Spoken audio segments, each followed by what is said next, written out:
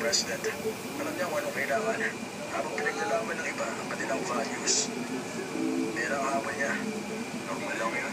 Pero hindi naman sa States. Yun ang ibig kong sabihin. Ay, bawal sa department natin na mag-day off ngayong buwan. Para suna tayong kinita. Kailangan natin i-discharge ng mas maaga ang pasyente para mas mabilis ang kita. Ayoko na mga pressure ang mga.